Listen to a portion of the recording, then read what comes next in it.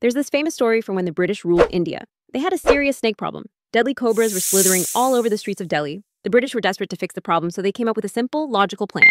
Let's pay people to get rid of cobras.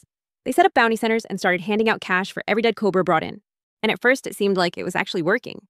Reports of cobra sightings dropped, deaths dropped. People lined up with dead snakes. But soon, something weird started happening. The number of dead cobras kept rising, way more than anyone thought existed. British officials were confused. Like, what is going on? Then it hit them. People weren't just hunting cobras anymore. They were breeding them. Snake farms popped up everywhere. Entire livelihoods were built around raising cobras just to cash them in for rewards. So when the British found out, they panicked and canceled the bounty. But things got even worse. The moment the program ended, the cobra entrepreneurs looked at their farms full of angry, now worthless snakes and did the obvious thing. They set the cobras free. And just like that, Delhi had more cobras than ever. All this from a program meant to reduce snakes. This is the cobra effect in action.